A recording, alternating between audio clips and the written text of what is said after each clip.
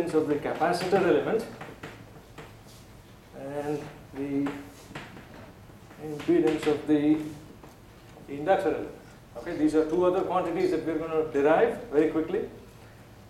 And then whenever I'm going to solve problems, the problems in the electrical systems will be solved in the Laplace domain so that I eventually obtain the system transfer function, which upon inverting can give me the system model. Okay, thank you.